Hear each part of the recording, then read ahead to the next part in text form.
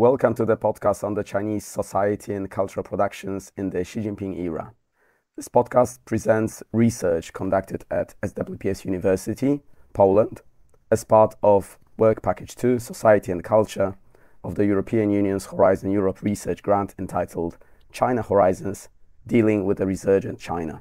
Joining me online are members of the SWPS University research team uh, let me introduce them to you. First of all, it's František Reismüller, PhD. As part of this project, he's doing research on the Chinese film industry and is joining us from China, where he is now on his research trip. František, hello. Hello, everybody. Okay, and next in the line is Piotr Machajek, PhD candidate, and he is responsible for research in literature. And he's joining us from the UK, where he is meeting with visiting Chinese writers and critics. Hello, Piotr. Hello, hi, everybody. Last but not least, we have Anna Gryszkiewicz, PhD, and she is working on the field of theater. And together with me, she will be traveling to China next week to take part in the Wuzhen Theater Festival. Hello, Anna. Hello, everybody. And my name is Marcin Jacoby. I'm professor in sinology, and I will be telling you a little about Chinese visual arts. So let's start. František, you are now at the Pingyao International Film Festival and you have already seen some of the films at the festival. What are your first insights about the industry? How has this survived the COVID 19 restrictions and uh, what are the new economic challenges that it faces? I must say, according to the festival I'm actually right now attending, it seems the success of survival was quite high. The festival is small. It's only its seventh edition. It was established in uh, 2017 by the famous uh, Chinese director Jia Zhangke, and it survived COVID quite well. Actually, it never stopped.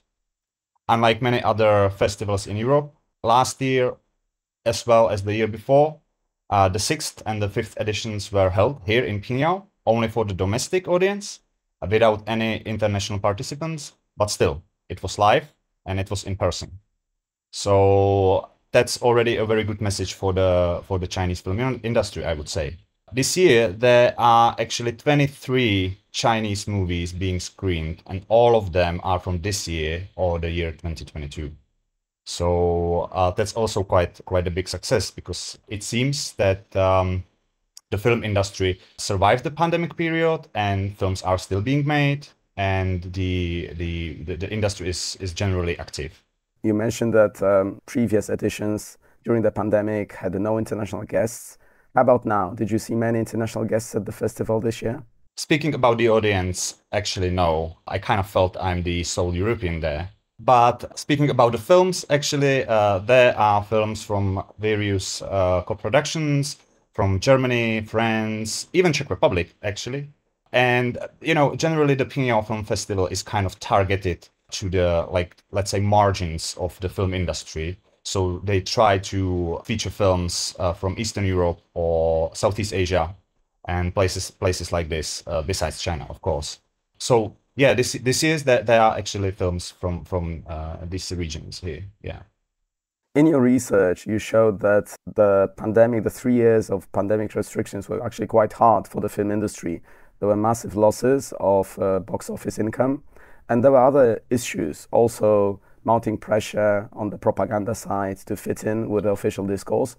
And you did discuss uh, the question of the independent film sector in China, which many people say is more or less gone.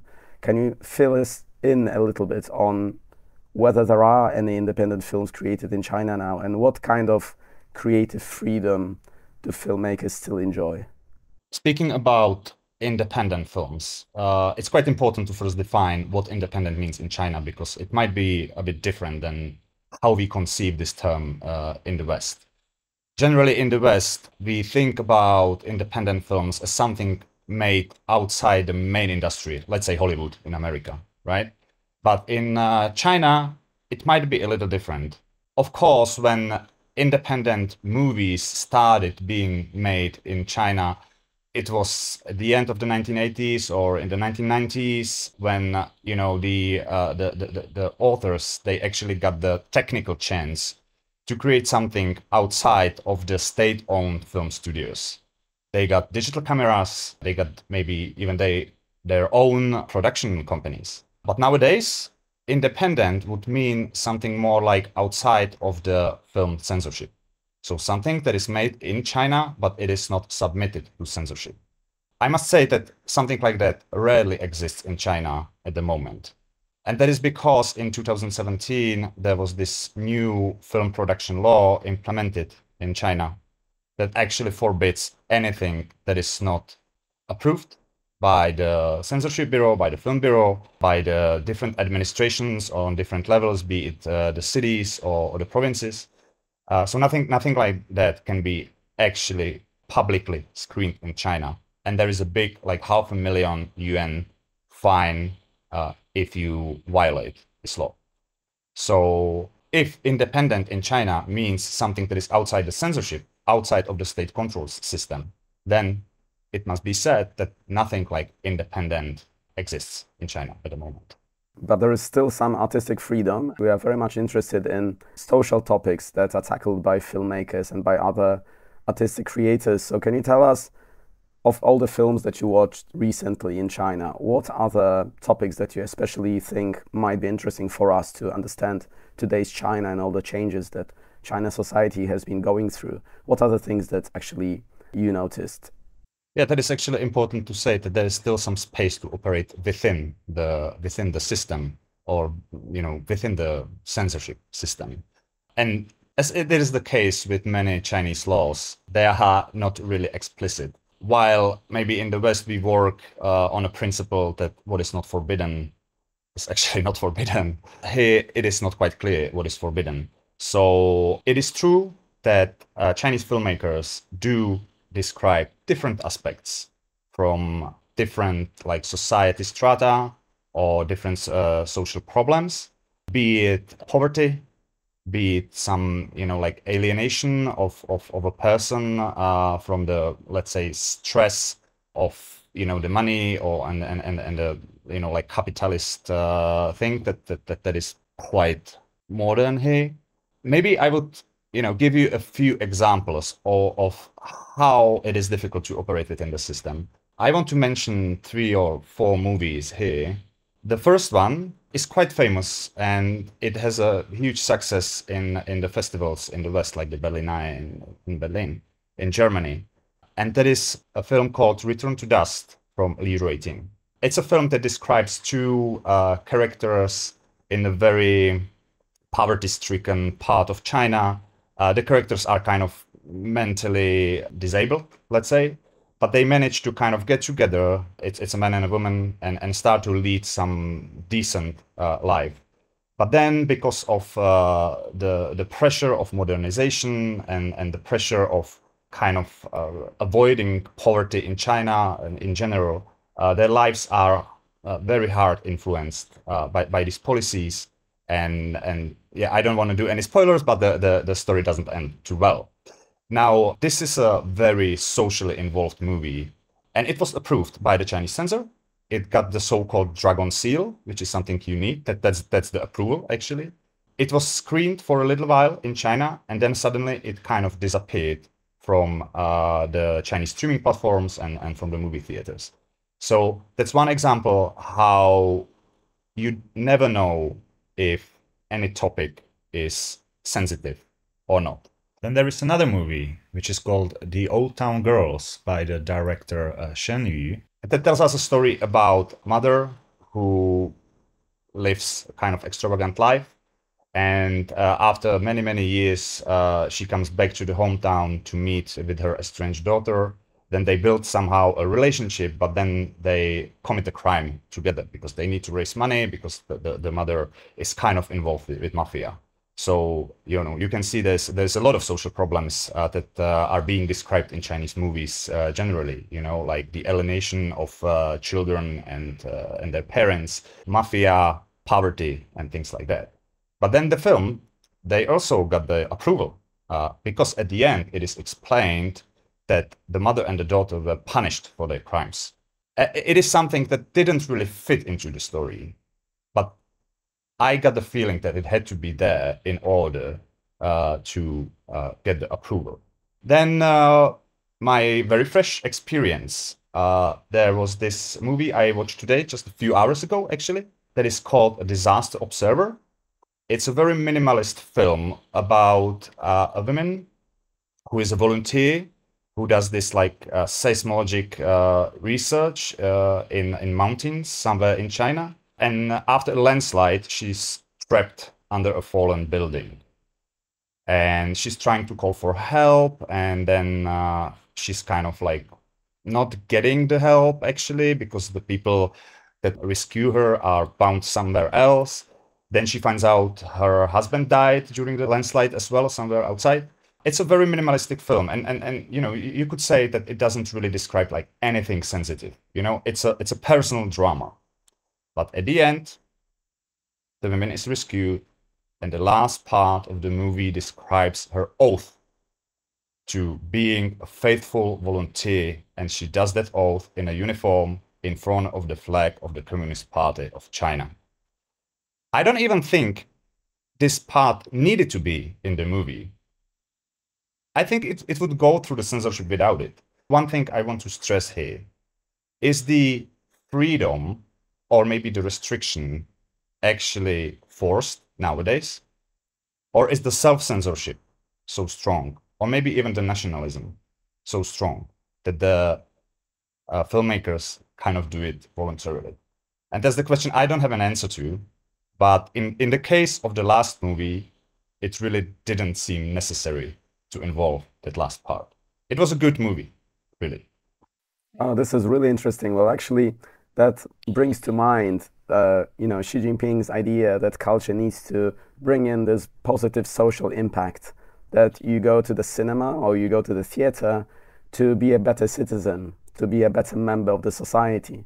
So what you said about these films and about these uh, last parts fit in very well with this notion that if you do a cultural production, it needs to be positive and it needs to be educational and it needs to help people finding their place in the society. I wonder if the audience all read it as we do, that these parts are just added.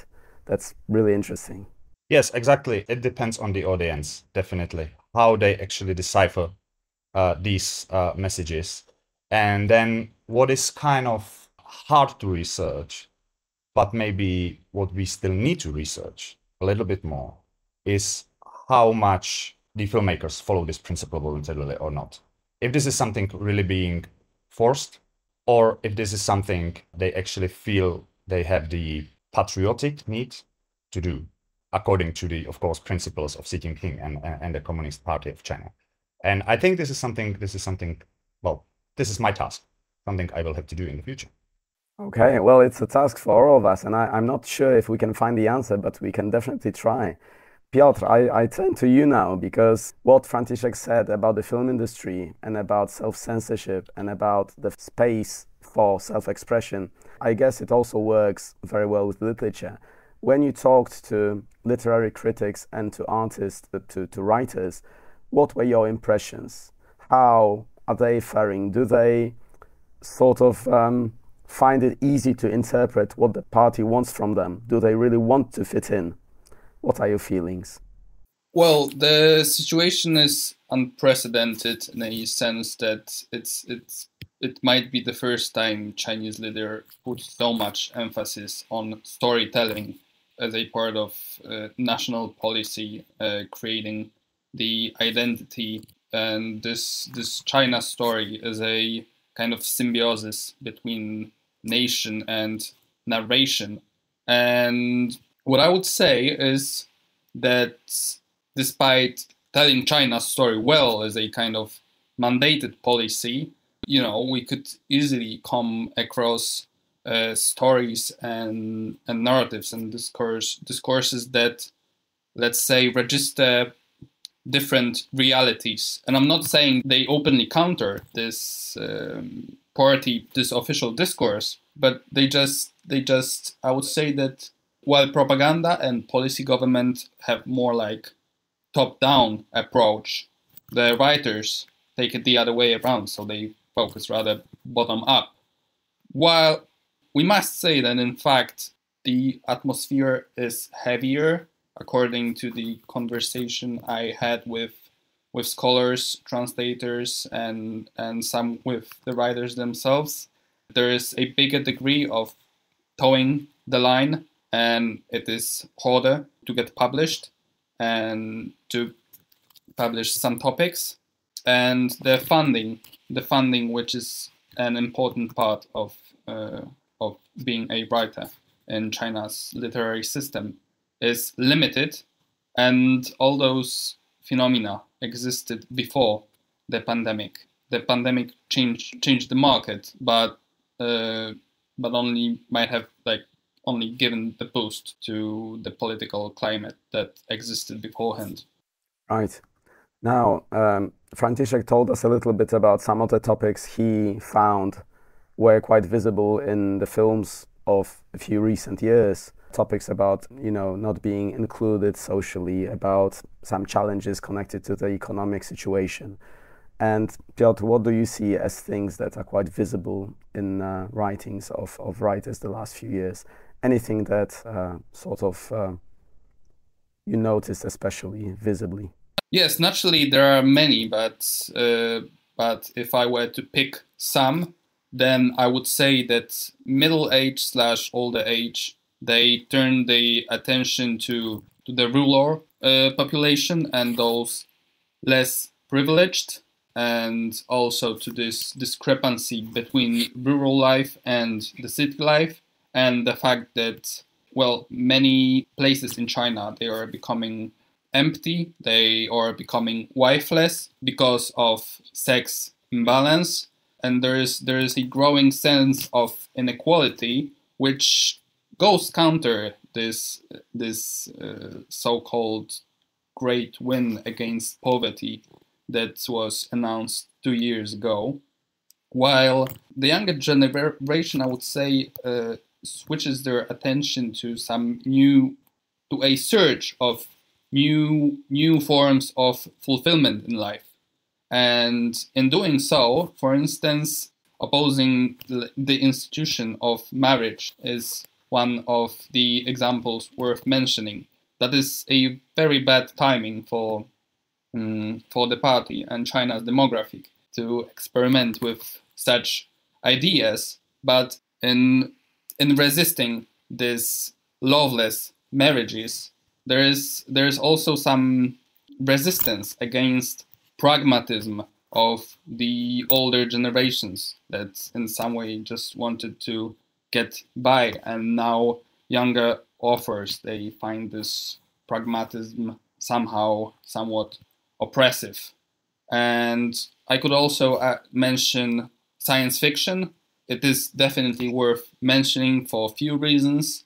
Sci fi has been recognized both outside China, but also internally, and also in a institutional sense as a field worth developing, worth funding, worth encouraging translators, editors from other countries to to build some kind of institutional support around it. And the tricky thing about science fiction in China is the fact that the official discourse in China is partly utopian in a sense that there is this constant drive uh, toward progress, let's say never ending optimism about direction the country is heading. So the utopian thinking is a part of state policy and state propaganda. So sci-fi writers they move away from utopia, but not necessarily to dystopian areas. They offer different realities in chronological sense, in geographical sense, and in doing so, they offer they offer very different visions of reality now and in, in the future. And all that is for literature in a more conservative manner. The other parallel world is internet literature, which is huge, which is marketized, which certainly deserves more research, but its scope and the pace of development cannot be, you know, equal with with with any other literary phenomena that's taking place around the world. Yeah, what you said about the topics of the maybe a little bit older authors who are very much interested in rural China and in social inequalities, that actually rings a bell as far as uh, visual arts are concerned because many artists are very much interested in rural China and they are very much interested in educating and helping in leveling up the inequalities. And this is a trend that has been very visible in, in visual arts in China, at least since 1990s. So this is something that is pretty strong even until now. And naturally, there's also this part in between cities and rural areas. And I'm, I'm talking here about migrant workers, which are also under, under the radar of Chinese writers. Also, there is a growing field of migrant workers literature. So they they record their own experiences in form of short stories as well as poetry and there are also magazines are being established that are dedicated to their to their work and uh, and and to their writing. Yeah that's also similar to visual arts especially a very well-known female artist wen fang who actually did a huge project on very interesting educational project on, on migrant workers right so we have definitely some things in common and you mentioned online or, or internet literature, which is a fascinating field. And both you and me, we had a chance of discussing about this with uh, a well known Chinese author of internet literature, Mr. Yang Hanliang, who told us about how huge the market is and how uh, you know enormous the popularity of, of internet literature is. And I'm sure you also noticed the, how proud Chinese officials were with the size of the internet literature, showing that China is absolutely the world leader in this, uh, as far as the scope, the size, the number of readers, etc., and even equaling it to the Korean wave with uh, K dramas and K pop or the Japanese manga. How do you feel about how that fits in with what we do research on in, in, in literature? Because definitely the content of these works is very much different from what we would consider traditional literature. Well, there are mixed opinions about both quality and relevancy of this literature, whether it accounts for as a social commentary or whether it accounts for any social events in China. Some hold that this internet literature is in fact a form of escapism and a kind of way out for young slash young adult readers. But as as as we had a chance to find out, some some social topics are are also mentioned, even though internet literature in a great percentage, you know, is is fantasy novels and uh, well outer world histories. Yeah, I remember that uh, because internet literature is very fast. So you produce things every day. Writers write at least a chapter a day. It actually can reflect the social reality much faster than other forms of cultural output. Now, if you do a film, you need one or two years very often. If you do a theater production, you also need a long time. If you just do things every day, very often you can include things that are uh, sort of discussed in the uh, social media and this is actually what my impression was that many of the things that are discussed over you know social media channels are things that people can relate to. And these things are incorporated into internet literature to make things more interesting for the readers. But this again can tell us something about the society. And it's a sort of an indirect research on what is on top in public discourse through the social media. So that might be quite an interesting thing also to look at for people who like reading a lot and read very, very fast. Even looking from the outside without actually reading those works can can can tell us something about the cultural sphere in China overall. The topic of internet literature is quite often looked down by the scholars because in fact the authors are quite often required to churn out like 5000 words a day and it's it's in many cases it's about the numbers. You survive if you if you have the biggest readership or you meet the specific quota. So there's there's this uh, uh, there's this feeling that uh, it's not a quality literature or literature takes some time and reflection. But on the other hand, the fact that it's such a huge market, and in fact, the writers, well, this might be going far, but they are kind of like factory workers, and you know that they're working on a factory line, and this hyper fast tempo of this literature and promoting it and producing it reflects something about China, something about the pace of the country, the way it moves into online sphere in all sense. And also worth mentioning is that internet literature is not just novels, it's a starting point for what in China for the past 12 years been called pan entertainment. So it's a starting point for many other many other mm, cultural services, so to say. So we have dramas, TV series, movies, games, merchandise, and they all start from uh, from those those literary writings published online. Yeah, well, what you actually mentioned now is a very important topic. That it's a very huge market, and the cultural sector in China is very dynamic. And very often, when we look at China from the European or the Western perspective, we see censorship, we see political agenda, but we don't see how dynamic the field is.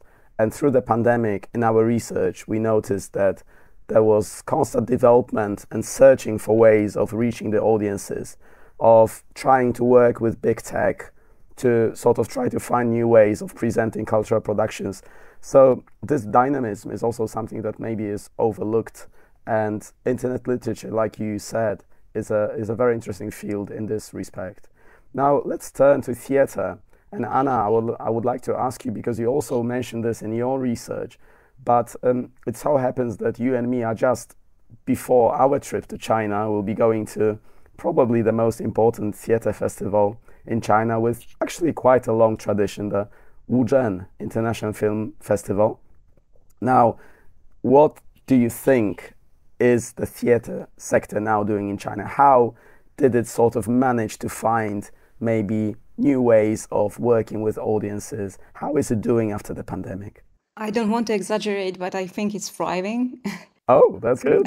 yes, maybe it's a cliche to say that much has changed, especially in theater field.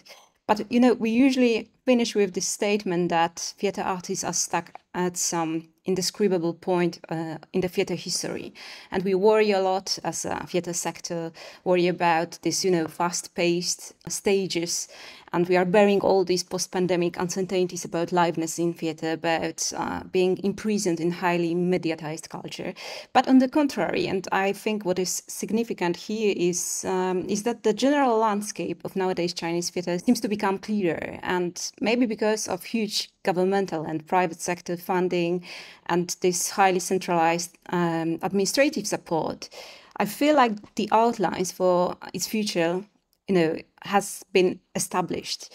And um, Chinese contemporary theater, especially Huaju, so literally spoken theater or spoken drama, with its, let's say, always delayed history, uh, I think it used this transitional point between two entirely different eras, like pre-pandemic era and post-pandemic era.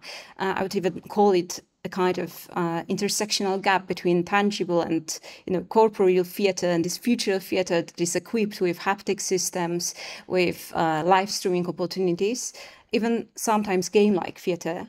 It used it not only to catch up with uh, other players, like Western players, but surprisingly, uh, I feel like it started to to take the lead, especially in terms of significant high technology involvement in theatre. And what we witnessed in the last two or three year period uh, is, the, for example, is the emergence of um, entirely new festivals in uh, in China, like uh, Aranya Theatre Festival or Think Metaverse Theatre Festival or Shekou uh, Theatre Festival. And each of these festivals uh, boasts its own unique characteristics and uh, has its own dedicated audience and very specific objectives. Um, I can uh, give you some examples because I think they can explain this uh, speciality of every festival. For example, one of the distinctive projects of uh, Aranya Theatre Festival is uh, 300 migratory birds, where 300 artists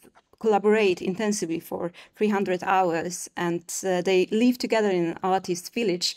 And, you know, this festival not only gives a grant to construct this kind of you know random artistic community it teaches artists how to be highly productive how to be super creative uh, under limited uh, time constraints and also how to be creative in site specific venues not only in theater. But at the same time i feel like it encourages these artists to conform randomly summoned viewers. And, uh, you know, the scope of funding and mentorship uh, provided here is really impressive. So it's essentially like incubating the next generation of artists. Yet the Shekou Theatre Festival in Shenzhen, I think it operates uh, in the same lines. And um, this, you know, incubating the next generation of artists, I think uh, it's very important for uh, Chinese theater now, like this very distant prospect of, of what will happen. And it's worth mentioning uh, that all these festivals completely cross the boundaries between the artistic and the commercial fields. Uh, so it's a notable trend that you know this growing commodification of theater, how to commercialize it, how to integrate it into video games market, how to promote urban development for theater, how to boost tourism or even uh, theater tourism. So I think these are the directions in which these festivals are evolving. And uh, the last but not least, uh, at the turn of April and May, the first Sphinx Metaverse Festival was held in China. And that was the festival that absolutely broke the fourth wall of theater, I think, with its really exorbitant number of tech companies giving its financial and also knowledge support to it, but uh, at the same time having a significant leverage uh, over it. So this festival, I think, tried to somehow incorporate, try to adapt all the discussion connected with Web 3.0 uh, into the realm of theater. And it also uh, triggered the creative industry workers from very different branches, from very different fields, and uh, summoned the audiences from different fields, like netizens, like cinema goers, or computer gamers, so not surely theater goers. So, as far as I understand it, uh, the word's common drift in theatre, you know, to take this cross disciplinary attitude can be much easily deployed in China because it's uh, centralized administration and uh, governing. Right. Well, actually, you touched upon several really interesting things. So maybe let me put them together and, and see whether any of us wants to add anything to that. Well, first of all, you, you underlined how dynamic the field is, and we already discussed this here today that actually you have to be there to see what is happening in culture, in theater, in other places, because China is just moving really fast and, and we shouldn't forget about it. Another thing that you mentioned, which is really good, is that we very often forget that China is a place where you have the Chinese big tech companies and they are very much interested in culture. So when you mentioned the Sphinx Festival, you know, we have all the players there. Yeah, you have uh, Baidu, you have ByteDance, you have um, Alibaba, you know, working with many different partners and trying to explore how to better reach audiences, how to better sell tickets, how to better show artistic productions, how to mingle art and technology. And this is also something that I guess we in Europe could could uh, look at very closely and even to find inspirations. Another thing that you mentioned, uh, and this is something that came up with our initial research that we're doing with Professor Ilchuk and, and uh, Tamara Kaminska is the you know very sort of perfect mingling of working in culture and uh, selling products that culture is very much commercialized. And this is a very conscious policy by the Chinese government since even the 1980s that they would expect even public cultural institutions to actually work on the market, sell things, earn revenue. And this is something which I think is very particular for China and quite interesting. František, I'm sure in film it's very similar. Yeah, definitely. I just I just wanted to add two things. The commercialization, let's say, you know, the how the Chinese government, but the industry itself, even without the government, see the, the value in a culture can be maybe proven by Louis Vuitton being the main sponsor of this Pingyao Film Festival I'm actually at right now. You know, like very luxury brand on something that is really art house. that is still considered art house festival. You know, so this connection uh, seemed to me uh, very interesting. And then another thing I wanted to mention, and Anna mentioned it uh, as well, uh, is the big support and uh, subsidiaries uh, from the government uh, to the cultural industry. And that is something I think is really a direct cause, or the, the COVID was the direct cause of this thing, that China is investing in their own culture much more. In case of film, those are subsidiaries for cinemas and everything. So, yeah. Yeah, I, maybe I will just add that the money comes from different sources. You have a lot of money from the central government, you have even more money from local governments, but you also have a lot of private money. So when we talked about all the big tech companies, when we talk about other, you know, big players in industry, you know, many companies invest in culture, and this is how you can have incubators that Anna talked about, and you have all the things that, you know, maybe might be hard in many other countries to come about. František? Yeah, and it's uh, and, I, and I think uh, it's a lot about uh, using the domestic market. And you know, when I mentioned that the Pingyao Festival actually survived COVID, I think it's partly also because the domestic market is so strong, and that even the authorities they wanted to remain strong as a part of the uh, post-COVID economic uh, recovery process. And this is something that you can't find basically, maybe except for the US, uh, anywhere else in the world to have such a strong domestic market. That actually makes me think that in the field of culture, China achieved two things. One thing is that in the field of culture, China probably managed to successfully implement dual circulation, something that they have big trouble with implementing broadly in the field of, of economy in China. So the domestic consumption is quite actually quite high as far as culture is concerned. They don't need to export. Well, they can't really. They're not very good at exporting the culture, but they are very good at consuming it locally. And another thing that I actually I go back, Anna, to what you said, is that first China achieved market economy without democratizing, without becoming a democratic country. And now they seem to achieve innovation without opening up as far as social discourse is concerned. So this is another thing that might be really interesting and quite shocking even for us that you can have a strong authoritarian state, but you still have innovation in the field of culture, even though you have 100% censorship and 100% control. And this is something that from our point of view probably would be very, very difficult to understand. Anna, I want to ask you the question that I asked František and, and Piotr before. It's about what kind of social topics you expect to see in Wuzhen. Yes, uh, you know, looking at the repertoire this year, I feel like I don't want to guess, yes, because you have to have this experience, being there uh, and listening to the audience reactions and so on and so forth. But I feel like maybe grand narratives and uh, this tension between grand narratives versus slight individual ideas, uh, some distinctive thoughts, uh, growing in strength and slowly maturing somewhere in the shadow of the post-COVID reality. So this reality that is uh, standardized, that is unified, that is uh, just said, uh, that is co commodified and product oriented and globalized. I feel like that might be the directions of this year edition. And you know, because when I look at the title for the whole edition, which is Arise, with the so short annotation uh, after it, uh, which is 乐旗分歧，迎风起飞，um, 迈向新的旅程. Uh, just in rough translation, meaning jump up, brace up, face with the wind, and go ahead, stride, uh, stride toward uh, a new journey.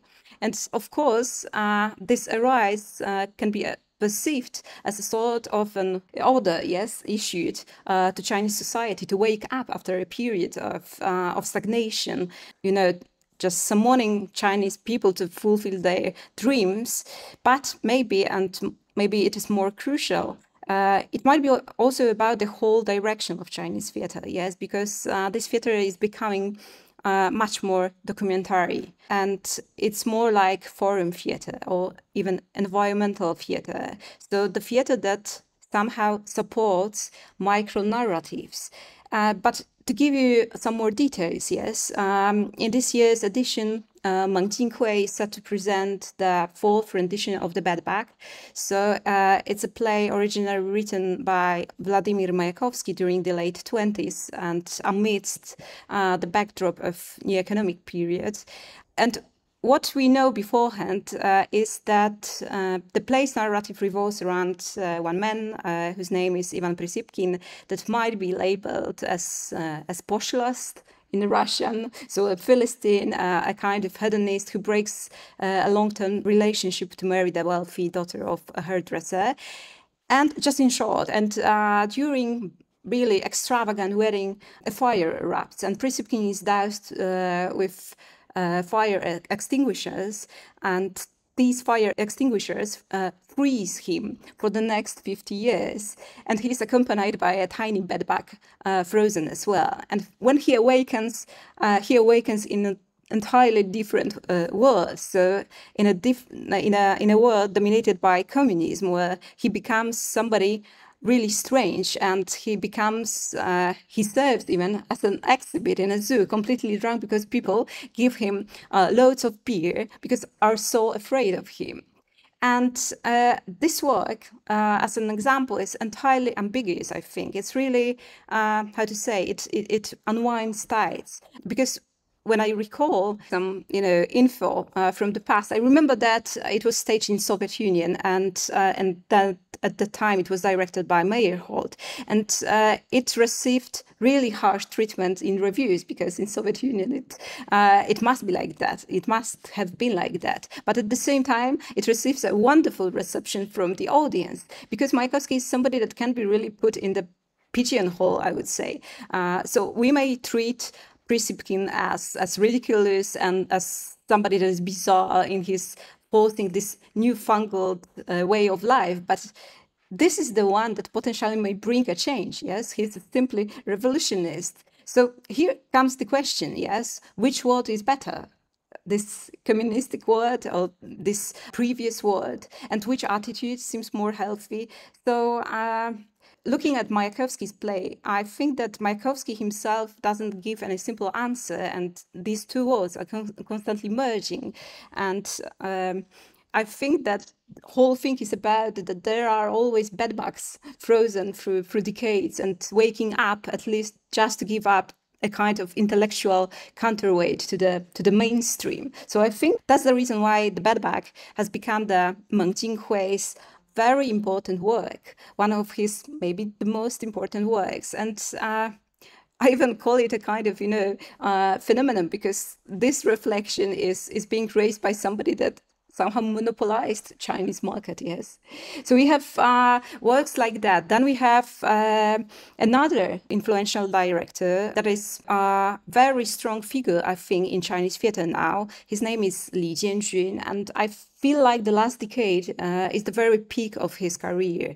For me, the most recognizable of his works are those in which he tries to reverse the theater as a place uh, where professionalism is the greatest advantage. Like uh, he tries to reverse it as a, as a holy place. Yes. So I, I, for example, I remember one of his latest work titled uh, "One Fine Day," where he exactly gave voice to, to amateurs. So the ordinary people recruited from different cities uh, because every single version had a cast from different city. And uh, that what was kind of documentary theater, I would say, essentially making the mundane meaningful. And in fact, it became a little bit controversial because people started to discuss you know some things some uncertainties about the pandemic and start to complain started to complain uh, for example the work uh, conditions the duties during the pandemic. There were uh, there was a nurse uh, talking about her duties. So it was really interesting. Uh, but instead of this documentary theater uh, he also acquaints the audience with some novel literature like Kafka's Metamorphosis, like Bulgakov's Master and Mar- Margaret.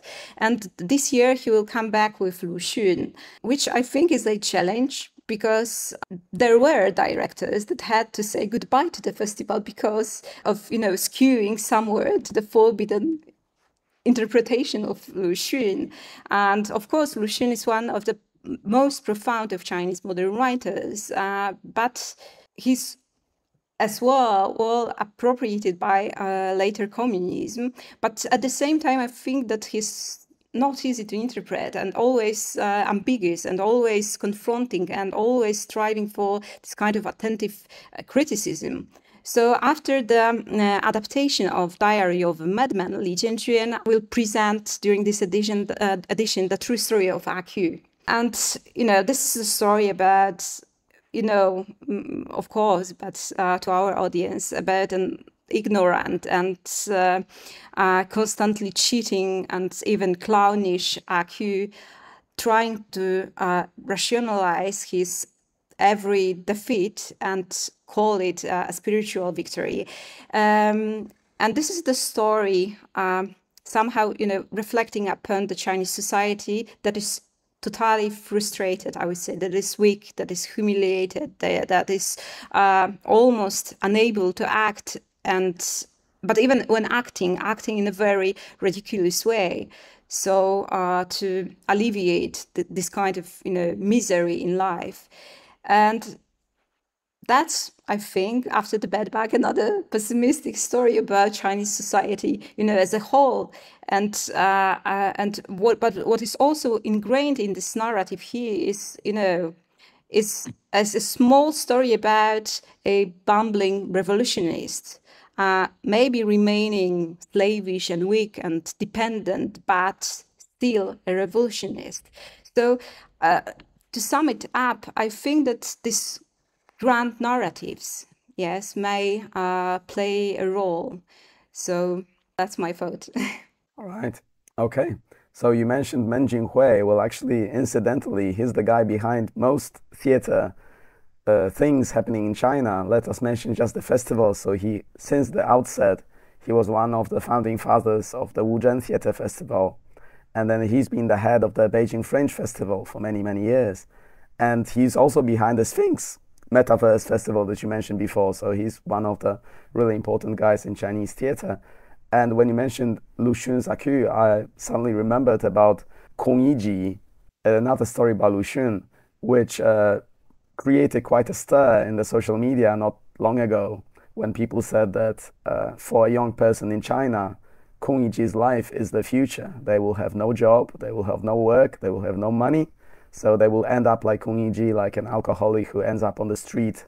And it's a very pessimistic view, which goes, of course, counter the whole official narrative about, you know, being positive in China developing so much. But with a degree, let's not forget that you know that's, that's yeah. That's thank you, Piotr. Yes, Kong Yiji was well educated, and and so are those young people. So disappointed with with the developments for the future. Yeah, yeah, Anna. And what is interesting for me about this uh, Lao Ciji, so this you know old mentors, old uh, old hands in directing, that we know that uh, they may not, you know, entirely go in line with authority. Like when we look at uh, these directors' histories, careers, and they, some of them even uh, experience some kind of con- controversial episodes in their careers. But since they have learned how to express i feel like they they learned how to express this discord in a more nuanced manner. So that's why i think Wuzhen festival might be a really interesting dialogue platform that all these officials and directors meet to share opinions to somehow negotiate their opinions.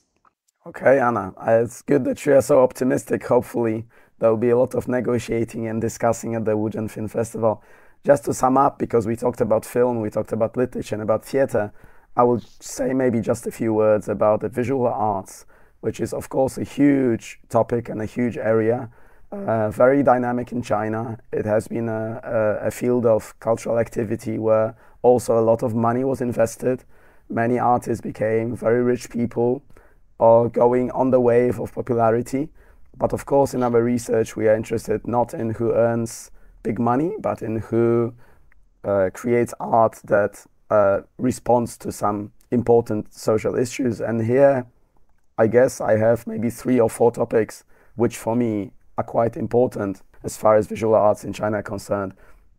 The first is that artists since already more than 10 years.